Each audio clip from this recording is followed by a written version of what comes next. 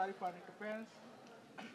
अस्सलाम वालेकुम और बगी सेब इदरीस सेब और फिदा सेब शुक्रिया कि उन्होंने अपनी कीमती वक्त का इस छोटी सी कोशिश को, जिसको अभी पेदराई मिलनी है, बहुत अभी मिल नहीं रही है अपनी वक्त निकाला और यहाँ आ गए टॉपिक हमने पहले से पिछली जुम्मे भी एडवर्टाइज किया हुआ था कि टॉपिक हमारा होगा कि लिटरेचर का इंसानी ज़िंदगी पर क्या असर हो सकता है? और मुहिब सेब की कुछ गरा, अगर में कोई फोतगी वगैरह हो गई उनके कज़न की तो जो टॉपिक का डिमांड है उसने उसके मुताबिक तैयारी नहीं की तो हमने ये कोशिश की कि इसको अगले थर्सडे में, क्योंकि जो जो में से क्लासेज ऑफ़ होगी या कम से तो थर्सडे में इससे कम की कवर सेशन रखेंगे, फिर लिटरेचर का इंसानी ज़िंदगी पर क्या असरात होंगे?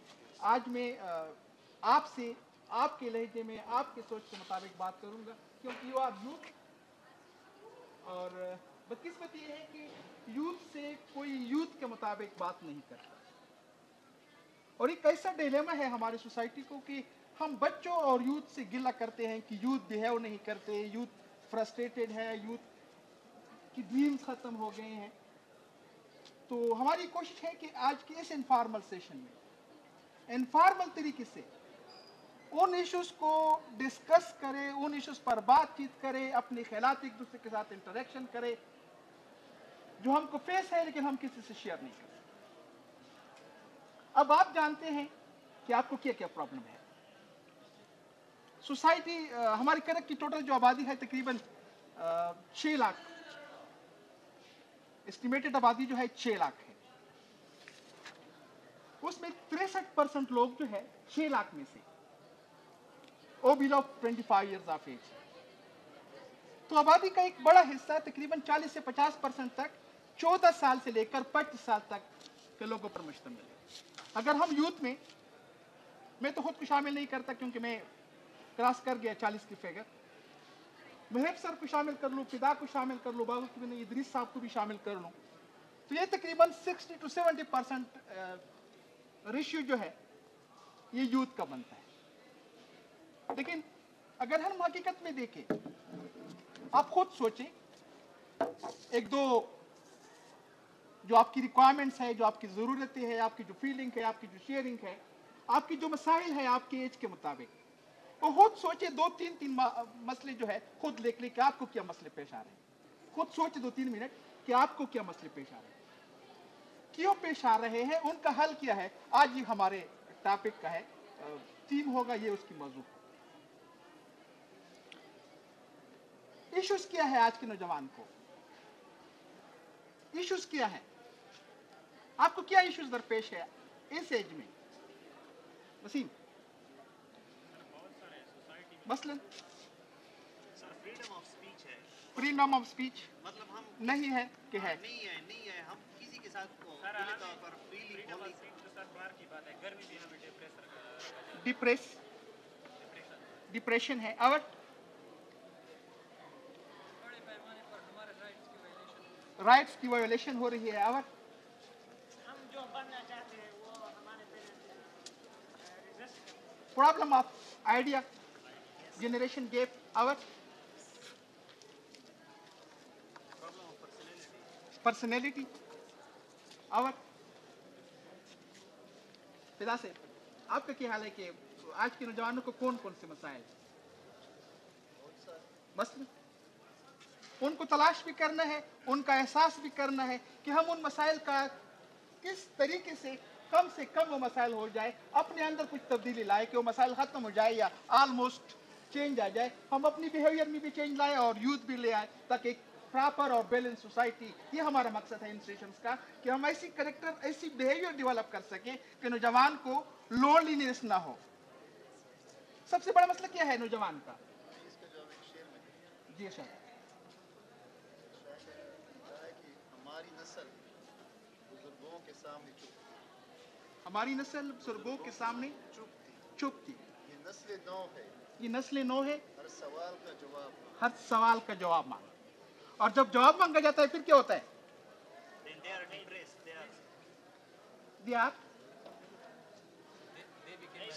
का इस्तेमाल किया जाता है। सवाल ममनू है। और ये लिटरेचर के लोग बैठे हुए हैं बागी साहब और फिदा साहब और महब साहब, और आप सब भी मैक्सिमम लिटरेचर के स्टूडेंट है। सवाल ही से इलम निकलता है। जब सवाल नहीं होगा, इलम नहीं होगी। जब सवाल नहीं होगा, मसला नहीं होगा। मसले का हल नहीं होगा। और जब आप सवाल को एक सोसाइटी डिप्रेस करेगी, फिर क्या होगा? सोसाइटी क्या बनेगी? अ फ्यू मीटर बन जाएगी कि बस जिसने जो कुछ कहा, कालो। जिसने जो कुछ कहा, कहो। जिसने जो कुछ पहना, आप भी पहनो। तो आज के नौजवान आप खुद सोचिए, आप खुद तीन है। तीन के मसाइल क्या है? आज का नौजवान सबसे बड़ा मसला किस चीज़ का है? लोनलीनेस का। लोनलीनेस क्या है? महफिल में बैठकर भी तनहा है। एडिक्शन हो गई है। इस लोनलीनेस के खत्म करने के लिए। एडिक्शन किस चीज़ का? किस चीज़ का एडिक्शन एडिक्शन तो हम नशे को कहते हैं कि नशा करते हैं। क्या नशा सिर्फ़ नशा है? क्या नशा सिर्फ़ एडिक्शन है? एडिक्ट हो गए हैं आप फेसबुक के साथ भी। एडिक्ट हो गए हैं इंटरनेट के साथ भी। इंटरनेट एडिक्ट हो गए हैं क्रिकेट मैच के साथ भी। तो अब क्या ये सिर्फ़ नशा जो है, ये एडिक्शन है कि ये फेसबुक जो है, ये इंटरनेट जो है, ये टीवी टेलीविज़न के देखना जो है, ये फ़िल्म को देखना जो है, महफल के अंदर बैठकर टैक्सिंग जो है, ये ये एडिक्शन नहीं है। बड़ा एडिक्शन ये सब एडिक्शन है। तो ये, इस एडिक्ट इस, इन मसाइल का इंसान एडिक्ट क्यों हुआ? ये मसाइल हमारे अंदर क्यों आए? क्या आपने सोचा? मैं क्यों फेसबुक का एडिक्ट हुआ कि हर वक्त मेरे हाथ में फेसबुक मैं क्यों हर वक्त ड्रामों और फ़िल्मों का एडिक्ट हुआ कि 24 घंटे में टीवी देखता हूँ? क्यों मैं क्रिकेट का एडिक्ट हुआ? सबसे बड़ी वजह यह है कि आज का नौजवान जो है लोनलीनेस का शिकार। जब वो लोनली नहीं रहेगा अब एडिक्शन किस तरह खत्म होगी? फॉर एग्ज़ाम्पल मैं एक आपको एक टेक्निक बताता हूँ। आप सब स्टडी करते हैं ना 11 अप्रैल से मैट टर्म शुरू हो रहा है ना। आप में से किन का मोबाइल 24 घंटे ऑन होता है? सबका। अब एक इंडक्शन से हम कैसे कर सकते हैं? फॉर एग्ज़ाम्पल आपने स्टडी करनी है खुदा तीन चार घंटे, जो भी दो घंटे मोबाइल बिल्कुल टर्न ऑफ़ कर लो। एडिक्शन खत्म हो जाएगी, एक दो दिन तकलीफ़ होगी, फिर आप आदि हो जाएँगे बॉक्स की कैलकुलेशन कर लेंगे बॉक्स को पढ़ेंगे। टीवी देख रहे हो मोबाइल ऑफ़ कर दो। अब क्या है, हमने इन इश्यूज़ को डिस्कस नहीं किया ना कि आपके ये मसाइल है? मैं आपको, मैं बैतालीस साल का हूँ, आप उन्नीस साल के हैं। एक नॉर्मेलिटी ये है कि मैं आपसे बैतालीस साल की उम्र के मुताबिक आपसे उन्नीस साल की जो बिहेवियर है, वो बैतालीस साल चाहता हूँ। मैं चाहता हूँ कि आप भी बैतालीस साल का बिहेव कर ले। वकार सिर्फ़ चाहता है कि सत्तावन साल का कर ले। फैसल चाहता है कि इकतालीस साल का कर ले। और मुहिब चाहता है कि मेरे साथ पैंतीस, तीस के बन जाओ। आपने उन्नीस साल के हैं, आप कैसे चालीस साल के बन सकते हैं। अगर बन भी गए, ये भी एक नॉर्मेलिटी है। तो सबसे बड़ा मसला जो मुझे नौजवानों की नज़र, सामने नज़र आ जाती है, वो एक लोनलीनेस है। दूसरा मसला जिसकी वजह से हमारा आज के जो नस्ल है ये इसको मसाइल पेश आ रहे हैं। डायरेक्शनलेस आप में से बहुत से यहाँ मेरे छोटे बेटे भाई बेटे हुए हैं लिटरेचर के हैं। कुछ पॉलिटिकल साइंस के हैं कुछ साइंसेस के हैं। कुछ साइंस से होकर वापस आर्ट्स में आए हैं। डायरेक्शन अभी किसने दी? कि आपके लिए ये सब्जेक्ट जो है ये ठीक है आप इसको पढ़ लें। किसी ने भी नहीं। वसीम कर रहा था सफीर ने ले ली सब्जेक्ट अब उनकी माइंड सेटअप क्या है इंग्लिश लिटरेचर के लिए क्या ज़रूरत है? ही डोंट नो बाप ने कहा डॉक्टर बनो। मैं बनना चाहता था इंजीनियर अब क्या होगा? रिज़ल्ट क्या होगा? मैं ऐसा डॉक्टर बनूँगा जिस तरह के आज के कसाब है। मैं कसाब बनूँगा डॉक्टर नहीं बनूँगा। मेरा ह्यूमैनिटीज में इंटरेस्ट है। मेरे पेरेंट्स मुझ पर ज़ोर दे रहे हैं कि आप इंजीनियर बनो मैथ से मैं लाखों दूर भागता हूँ। रिज़ल्ट क्या होगा? सोसाइटी इम्बैलेंस होगी। तो दूसरा मसला जो है, ये और एक चीज़, तीसरी चीज़,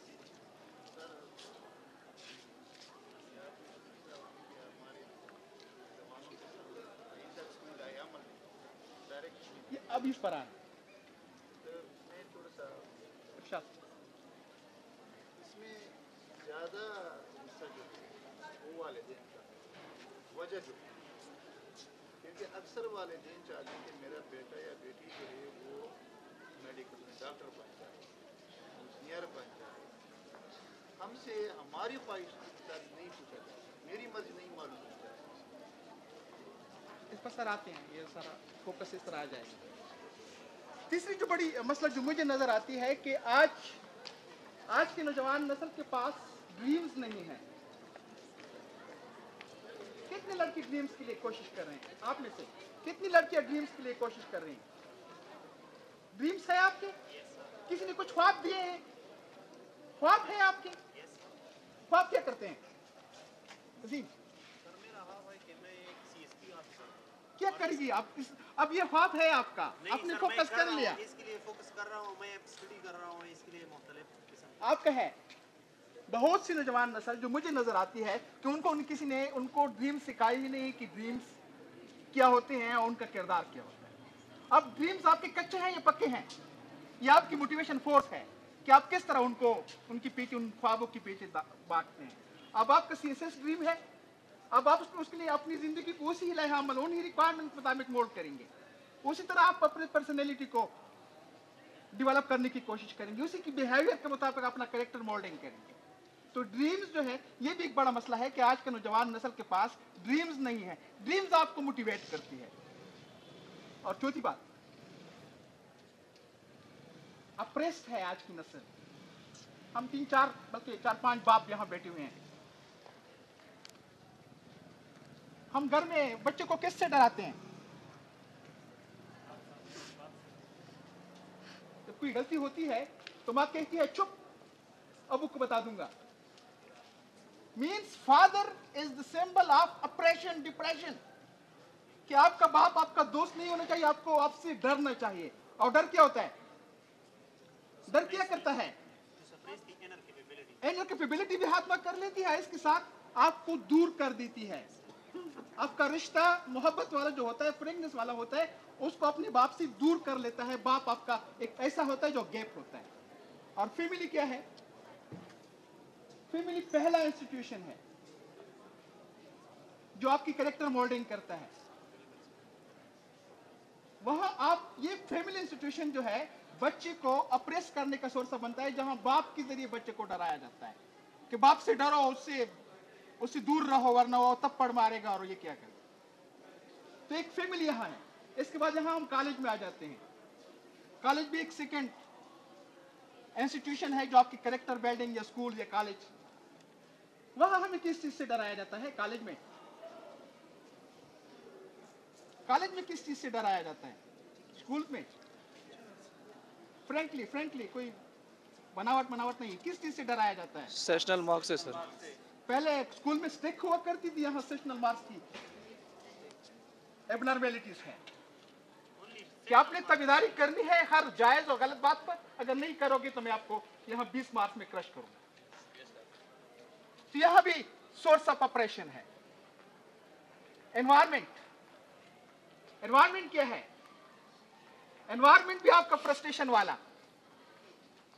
तो आप बताएँ, जो female institution source of operation है, ये एकेडमिक इंस्टीट्यूशन जहाँ हम बहुत कुछ सीखते हैं, ये सोर्स ऑफ़ ऑपरेशन है तो मेरी पर्सनैलिटी कहाँ डेवलप होगी? कहाँ होगी? मस्जिद भी इसी तरह। वहाँ दो की बातें ज़्यादा की जाती है, जन्नत की बातें नहीं की जाती। तो मेरी पर्सनैलिटी कहाँ होगी? एक, यहाँ एक छोटा मसला जन्म लेता है नौजवान नस्ल के पास। वो क्या है? फ्रस्ट्रेशन जब आप डिप्रेस होते हैं, आप अप्रेस होते हैं, अपने आइडियाज़ की, आपकी क्रिएटिविटी की बातें नहीं करते, फिर क्या होता है? आप फ्रस्ट्रेशन का शिकार हो जाते हैं। और जब फ्रस्ट्रेशन का शिकार होते हैं, फिर क्या करते हैं? फिर क्या करते हैं? तशद एक सिंपल है। डिसरिस्पेक्ट करते हैं अपनी सीनियर्स की। वैल्यूज़ से दूर भागते हैं अपने वक्त को गैर ज़रूरी कामों में एडिक्ट हो जाते हैं। किस चीज़ की वजह से? जस्ट बिकॉज़ ऑफ़ फ्रस्ट्रेशन अब मुझे फ्रस्ट्रेट किसने किया? मुझे फ्रस्ट्रेट उसने किया कि मेरे पास कोई ड्रीम नहीं थे, कोई मकसद नहीं था। मैं बेमकसद ज़िंदगी गुजार रहा था। बचपन में किसी ने नहीं सिखाया, कॉलेज में किसी ने नहीं सिखाया मोहल्ले में किसी ने नहीं सिखाया। जब वकार से इनकी उम्र के लोग थे, वहाँ मोहल्ले के अंदर आपकी सेंस ऑफ़ ओनरशिप थी। सारा मोहल्ला बच्चे को डांटता था, पकड़ता था, सब ओन करते थे। आज हम इंडिविजुअलिज्म का शिकार है इनफरदियत का शिकार है। मैं आज अपने भतीजे को भी कोई गैर ज़रूरी तप्पड़ या डांट नहीं कर सकता। मैं उसको डांट किया है, डांट ये नहीं कि मैं उसको डांटू। It is the feeling of ownership मेरी फीलिंग ऑफ़ ओनरशिप खत्म हो गई है। अब जब सेंस ऑफ़ ओनरशिप के बगैर एक बच्चा बड़ा हो जाता है क्या बनेगा? एक ऐसा बच्चा एक ऐसा नौजवान जिससे सब गिला करते हैं कि ये बदतमीज है बड़ों की इज़्ज़त नहीं करता क्लास के अंदर चीखता है उनके एंजॉयमेंट की जो एक्सप्रेशन है हुआ या ये, ये नारे ये उनकी एक्सप्रेशन है। बड़ों की इज़्ज़त नहीं करता फेसबुक में ज़्यादा टाइम करता है बुक्स रीडिंग नहीं है। बुक्स रीडिंग हमारे किस सोसाइटी में है? कोई किताब पढ़ता है लिटरेचर का? अपने कोर्सेज के अलावा, मार्क्स का हमने बनाया हुआ है कि मेरी बेटी ने 900 मार्क्स मुझे लेने हैं 275 लेने हैं 1000 लेने हैं। पहले 900 की दौड़ हुआ करती थी, अब हमने उस दौड़ को 1000 पर कर दिया। तो ऐसे माहौल में जब बच्चा बढ़ेगा, जहाँ उनकी फैमिली भी डर और खौफ वाली होगी प्रेगनेंस नहीं होगी, जहाँ उनका कॉलेज के स्कूल का माहौल भी स्ट्रिक्ट वाला और डर वाला होगा, अपने आप की एक्सप्रेशन वो नहीं कर सकेगा फिर क्या होगा? क्या चीज़ बनेगी सोसाइटी के अंदर? मुझे कौन सा प्रोडक्ट मिलेगा? मुझे ऐसा प्रोडक्ट मिलेगा कि जिसके पास ड्रीम भी नहीं होंगे, जो अप्रेस भी होगा, जो फ्रस्ट्रेटेड भी होगा, और जब मैं उस सोसाइटी के अंदर वो प्रोडक्ट दूँगा, फिर क्या होगा? एनवायरमेंट किस किस्म का हो जाएगा? एनवायरमेंट किस किस्म का हो जाएगा? A group of oppressed people frustrated people जो हर चीज़ में नेगेटिविटी तलाश करेंगे। और नेगेटिविटी क्या है? ये आपकी क्रिएटिविटी ये लिटरेचर के लोग बैठे हुए आपकी नेगेटिविटी जो है आपकी क्रिएटिविटी को खत्म करती है अभी हम बात कर रहे थे दो तीन महीनों से कर रहे हैं। कॉलेज मैगजीन की। एडिटर्स चीफ एडिटर एडिटर सब बैठे हुए हैं यहाँ। मवाद नहीं कर ला, ला, लाया जा रहा। बड़ी वजह क्या है। मवाद नहीं लाया जा रहा है कॉलेज मैगजीन के लिए, जो बड़े शौक से लाते थे लड़के। लड़कियाँ कॉलेज मैगजीन कॉलेज की होसन होती है। लेकिन मवाद उसी तरह क्वालिटी में आ और अगर है तो इंतहा ला रहे हैं। कुछ फरवीन शाकिर ने कहा, कुछ गनी खान ने कहा वो जमा कर रहे हैं। मेरी अपनी क्रिएटिविटी कहाँ है? मैं, जो मैं खुद लिख सकता हूँ कहाँ है? मैंने अपनी फ्रस्ट्रेशन कहाँ निकालनी है? मैंने अपने ऑपरेशन को कहाँ हम डरते हैं। डर ने मेरी क्रिएटिविटी को मेरे मेरे आइडियलिज्म का मेरी ड्रीम्स का हाथ कर दिया। ये आज के नौजवान की नस्ल की मसाइल इसके अलावा आप डरे हुए हैं। डरे हुए हैं कि नहीं है? किससे डरते हैं? किससे डरते हैं? अपने फ्यूचर से। फ्यूचर फ्यूचर से क्यों डरते हैं? क्योंकि आप अप्रेस्ड है फ्रस्ट्रेटेड है और आपकी ड्रीम्स है। डर क्यों डरते हैं? क्योंकि आपको घर के अंदर डर दिखाया जाता है, कॉलेज के अंदर घर डर दिखाया जाता है, मस्जिद के अंदर भी दो की बातें करके आपको डर दिखाया जाता है। तो आप तो डरेंगे। तो आज के नौजवान खौफजदा भी है फेयर्ड भी है फ्राइटेंड भी है। अपने मुस्तकबिल से डरता है, कोई पीटीसी कर रहा है, कोई सीटी कर रहा है। अब ये क्या है? ये पीटीसी और सीटी की, ये अलम इकबाल की, ये असाइनमेंट वगैरह, ये क्या है? ये बेसिकली आपकी उन फेयर का हल है। उन फेयर का रिज़ल्ट है कि आप डर रहे हैं, आपको अपनी ड्रीम्स पर यकीन नहीं। आपको अपने अंदर पर यकीन नहीं, किसी ने आप पर काम नहीं किया, आप एक अच्छे प्रोडक्ट नहीं बन पा रहे हैं। दोस्त भी मेरे जैसा फादर भी डराने वाला टीचर भी डराने वाला, मस्जिद का मौलवी वो भी डराने वाला सोसाइटी भी डराने वाली, क्या होगा? मैं भी डरने वाला प्रोडक्ट बन जाऊँगा। न क्वेश्चन करूँगा, न कोई तलाश करूँगा, न कोई अच्छी बातें करूँगा, और जब डरने वाले होंगे डर क्या होगा? डर क्या है? नेगेटिविटी ऑफ़ माइंड है। तो मेरा माइंड नेगेटिव हो जाएगा। मैं कभी धमाके करूँगा, कभी साजिशी करूँगा। तो अगर ये चीज़ों में मैं इन्वॉल्व हो जाऊँ, साजिश करूँ, आपको डराऊं,